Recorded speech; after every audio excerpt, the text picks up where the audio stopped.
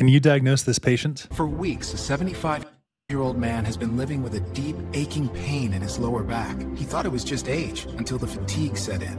So, an otherwise asymptomatic 75 year old man presents with several weeks of progressive lower back pain and fatigue. On physical exam, he appears pale, and digital rectal examination reveals a regular firm prostate. He has a PSA level of 12 and mild normocytic anemia. MRI of the spine shows multiple sclerotic lesions, and a CT guided biopsy of one of the vertebral lesions reveals a malignant glandular cells with prominent nucleoli that are positive for prostate specific antigen. What accounts for the spread of this cancer to the spine? Well, the sclerotic lesions are going to tell us this is prostate cancer. The PSA of 12 definitely supports prostate adenocarcinoma. The lower back pain could be caused by a bony metastasis, and he could have marrow infiltration causing the pallor and normocytic anemia. So, what we need to know for this question is prostate cancer is infamous for osteoblastic or sclerotic bone metastasis. That's because the Batson venous plexus connects the deep pelvic veins directly to the vertebral venous system. There are no valves, and that allows retrograde spread. So the answer is not A is lymphatic dissemination to pelvic nodes with systemic spread.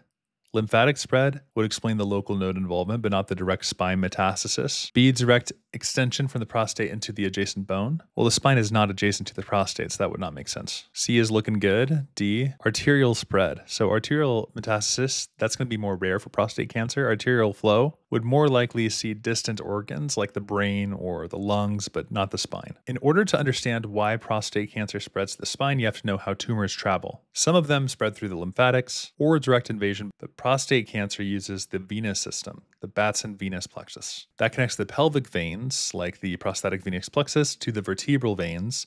And because it's valveless, it allows retrograde flow during straining or increased intra abdominal pressure. And that's why spine metastasis is common in prostate cancer. So, really, you have a plexus that's allowing a shortcut from the pelvis to the spine without even having to pass through the lungs. And that Sclerotic bone lesion is osteoblastic metastasis that's unique to the prostate and sometimes the breast. In the Batson's venous plexus, that's where you have the valveless veins that enable retrograde spread under pressure, and the prominent nucleoli, that's a histologic feature of adenocarcinoma. And the PSA positive tumor cells, that is a specific marker for prostatic origin. So, prostate cancer is the most common cancer to metastasize to the spine.